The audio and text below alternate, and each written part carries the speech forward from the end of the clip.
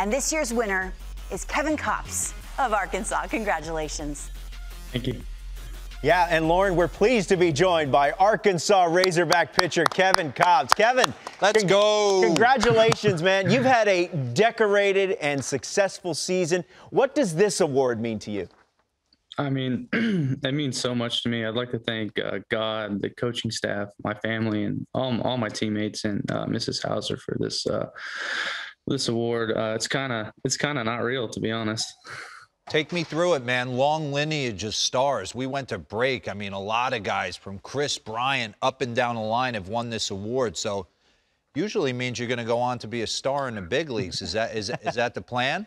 Yeah, that's the plan. It's kind of like, like I said, it's kind of not not real to me to be on a list with all those guys. Uh, you were 12 and one, as, as yeah. Lauren mentioned, ERA of 0.9. 11 saves in 131 strikeouts in just over 89 innings. Uh, our Arkansas has a great program. You guys are ranked number one for, for most of the year. What was the secret, or what has been the secret to your success?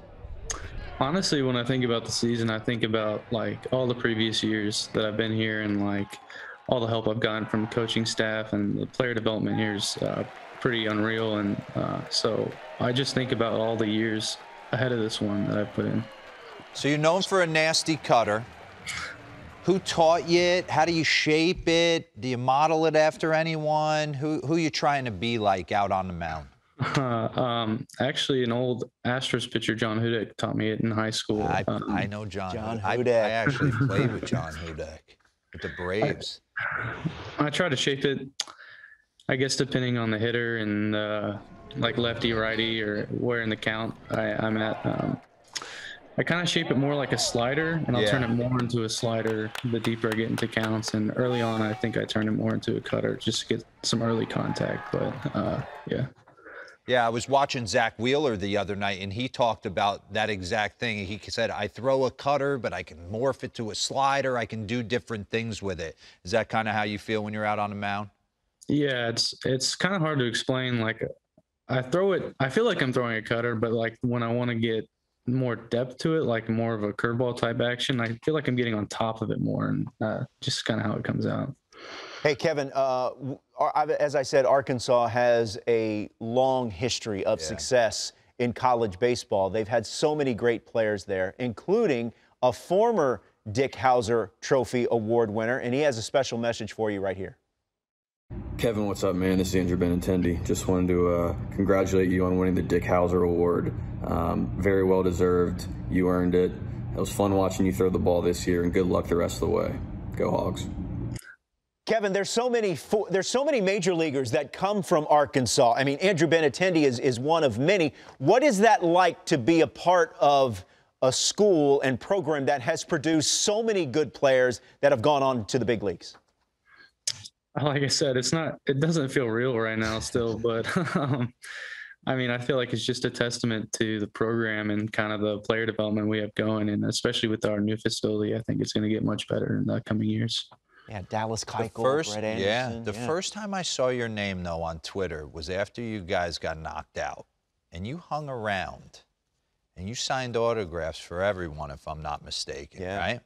Well, who, where's that come from? Mom and dad or – you felt obligated to, to give back to the fans because that was special. No, it comes from a uh, uh, Michael Jordan quote uh, that's kind of stuck with me. He's, ta- he's, talking about playing hard every game because like might be someone's only chance to see him play in person or something like that. So that's kind of what I think about. Um, uh, it might be some little kid's only chance to see me or something like that, and he, he really wants a ball sign. So it's kind of nice to give back to the fans in that way. I wasn't thinking that. oh, man. I was ready to hit the streets. I was ready to hit the streets. All right, I got to ask you a question because huge juice guy. Yeah, huge, celery juice. Yeah, I'm a that. huge celery juice guy. but I want to throw to some sound because someone asked you how you're able to throw 50 pitches one night and then back it up the next night. So listen to your answer right here. Kevin, we don't see too many guys throw 50 pitches one night and then two days later come out and throw another 50 pitches in relief. What is it that makes you able to do that? Um, beet juice. All right, I went down that beet juice wormhole and I got off it. So take me. Why is that? Were you just kidding, or does it work for you? Uh, honestly, I couldn't really think of an answer right there. And, uh, my my teammates always joke around with me about drinking beet juice, so it just kind of popped in my head. I thought I would say it. So you are rocking beet juice daily. Yes. You, now, you Um, also were rocking uh, a, a sweet stash, a little uh, lip lettuce. I mean, thi- you look like you're, you're like you're Farva from Super Troopers here. I mean, this is an outstanding look. What made you uh, stray, you know, steer away from it? Uh, I don't know. I was last year didn't go that well for me, and I was trying to kind of just be myself more. And I felt like the mustache was really distracting. I always felt like people were like looking at it and staring at it, and I couldn't get over that.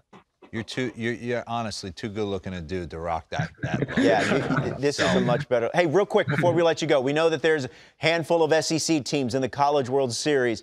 What do you, uh, you know, just Yeah, kind of handicap it for yeah. us? What do you, what should we be looking for in Omaha this week? uh, I mean, I'm always rooting for the SEC teams in Omaha. I'm really pro SEC, so I kind of like watching them um, out there. And um, I think Tennessee, Vanderbilt, Mississippi State all have really good teams, and uh, I'm kind of looking forward to see what they do.